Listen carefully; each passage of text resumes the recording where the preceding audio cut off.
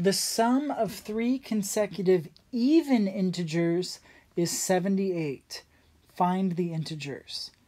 This is very similar to the last problem, except instead of them being consecutive integers, they're consecutive even integers.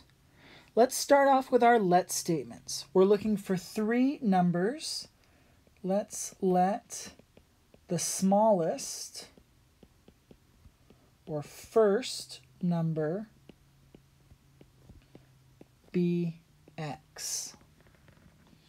Now, when we're looking at consecutive even integers, we don't add 1 each time we go to the next integer. If we look at some consecutive even integers, for example, 8 and then 10 and then 12 and then 14 and then 16, to get from one integer to the next, you have to add 2. To get from 8 to 10, you add 2. To get from 10 to 12, you add 2. To get from 12 to 14 or 14 to 16, you add 2.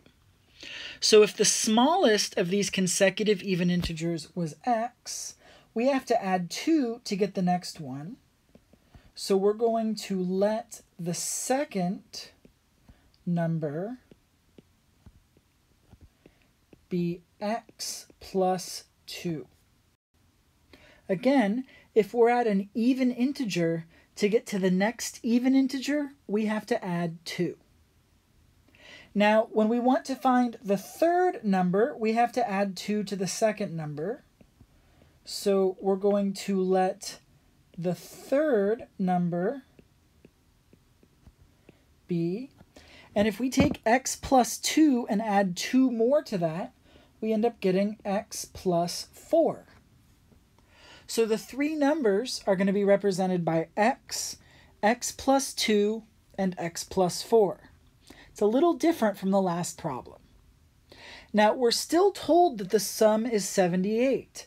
So when we add those numbers, x plus x plus 2 plus x plus 4, we still end up with 78 as a sum, but the left-hand side is different from the last problem, so we're going to get a slightly different answer.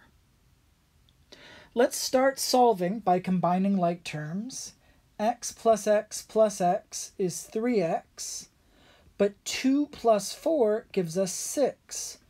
So we have 3x plus 6 on the left-hand side, and that's equal to 78.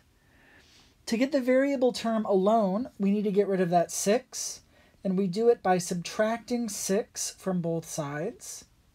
That leaves us with 3x on the left, and 78 minus 6 is 72 on the right. Now the last step in solving this equation to get x alone requires us to divide by 3.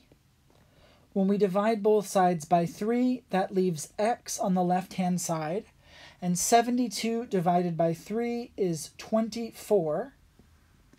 So when we go up to our let statements, we see the smallest number is x, which is 24. But the next one is x plus 2. 24 plus 2 is 26. And then the last one was x plus 4.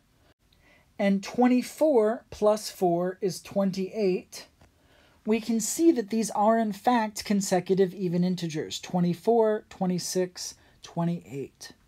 So we were asked to find the integers.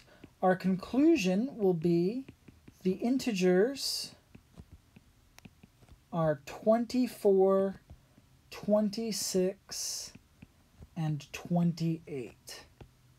And that's our final answer.